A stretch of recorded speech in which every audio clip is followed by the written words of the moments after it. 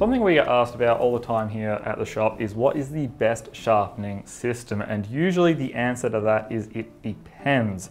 But this is the new side-by-side -side sharpening system by MPOWER Tools and it might just be the perfect solution for those of us who are looking for an all-in-one solution to cover all our bases. As the name suggests, the system utilizes three side-by-side -side diamond plates in three different grits. So we've got 300, 600, and 1200 grit. And that's gonna cover basically everything from restoration of a damaged edge through to just the quick touch-ups when things get dull. Perhaps what's more noteworthy is the addition of these three snap-on leather strops. And it is these that will take you from a sharpened edge to a mirror polished razor sharp edge in no time. Just like the plates, the strops are also progressive in their grit. So they start at 1,800, then 2,500, and finally 5,000. And it is this progressive strop system that has me considering converting my way to the diamond way, and I'll explain why. Diamond stones really have one big limitation, and that is the lack of finer grits for higher polishes, especially when compared to water stones, which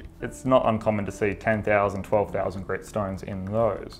But when we add the stropping to the equation, that limitation does somewhat become redundant and the results we achieve are more than enough for woodworking. And in fact, what I've been achieving with this system in my tests have been on par, if not better, than the results that I can achieve with my Waterstones. Combine that with all the other benefits of diamond plates, which are, you know, things like not having to flatten the stones, low maintenance or very little maintenance with them, not having to soak them ahead of time, and, and you're just onto a winning combination. So with all of that said, let's get into a demo and show you how it's all done.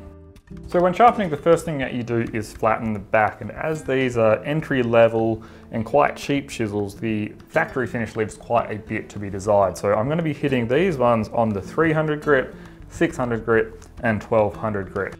Once I have a nice even scratch pattern on the back, I know everything is flat so I can move on to polishing the back.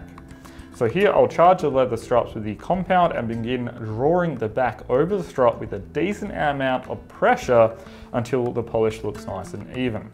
Do this on all three strops and once the very edge is perfectly polished, you're done flattening. For the actual sharpening, I like to use these cheap honing guides. They're nothing special, but they are easy to use, they're consistent, and honestly, it's all I've ever needed to get fantastic results with perfect bevel angles every time, so I'm sold on them. Just like before, we start on 300 grit, then 600, followed by 1200 before moving on to the strops. I personally like to do the stropping freehand without the honing guide, but if you're new to this and you're just getting used to it, feel free to use your honing guide while stropping as well. Just be sure to never push your chisel while honing, only draw it back. Otherwise, you will dig into the leather and cut it, or even potentially roll your edge. So both things we don't want to do. Once your chisel is perfectly mirror edge polished, you can then just quickly remove the burr on the back by drawing across your fine strop and the sharpening process is done. And I mean, just look at that. It's perfectly polished and it well and truly passes the paper test and just look at the end grain being cut like butter. So am I a convert? I think so. This system has really impressed me in every way. It is quick, it's easy, the results, I mean, they speak for themselves. And all of this while it's being relatively affordable for everything you get. I mean, you got to remember, you're getting three different stones, you're getting three different strops with three different compounds with all the other stuff that's thrown in like the lapping fluid. It's a really good value kind of setup, especially for those that are just coming into the game. Anyway, if you'd like to know more about the MPOWER range of sharpening gear, there will be a link in the description below. And if you want to see more about just the range of sharpening equipment we have on offer, there'll be links to that as well. So that will do it for this video. And like always, thanks for watching and remember to hit that thumbs up button and maybe leave a comment below.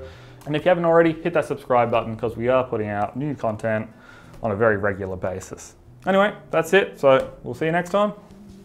Think Wooden Thoughts.